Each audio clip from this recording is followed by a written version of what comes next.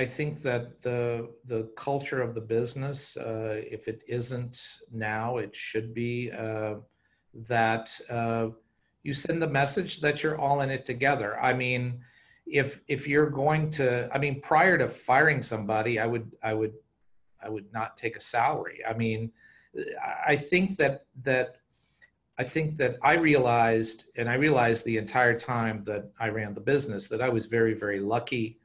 uh, to to be where I was and to be doing what I was doing, and that I had a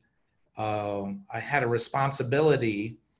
uh, to the people that were working with me to to to support them,